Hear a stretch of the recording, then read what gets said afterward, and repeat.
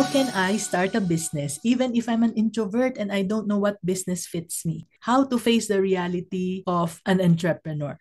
Dan is in the position or in the situation where most of us are in now. No? Nung nag-uumpisa kaming mag-asawa, hindi namin alam, basta alam namin gusto namin mag-start ng business. And what is worse is that I'm an introvert. I'm really a very shy person. Kala nyo lang makapalang mukha ko dahil I'm going online. But if you meet me in person, I would not know what to say to you if you don't ask me any question. If I go to parties, it's very difficult for me, very uneasy for me to be sitting with strangers and not knowing what to say. So I'm a super super introvert. And if I can do it, I'm sure you can do it as well, Dan.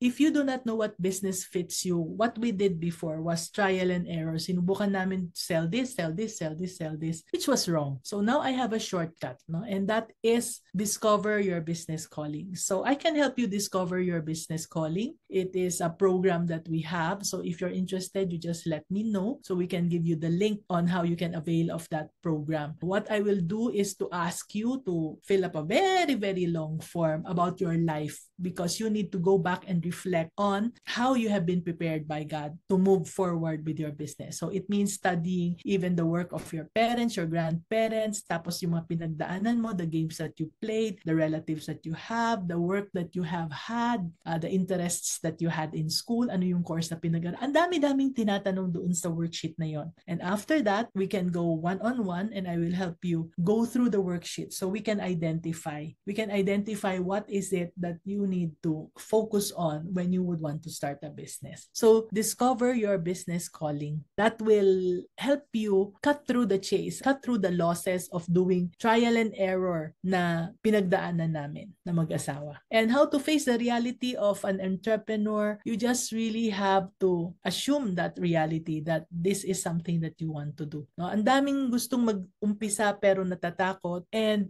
if if you learn about the mistakes beforehand without having to commit them, it will be a lot easier for you. So we are developing a course now, a program about that. And again, if you want to find out, get in touch with us and we will guide you to whatever program it is that you need for developing your first business. I hope that helped, Dan.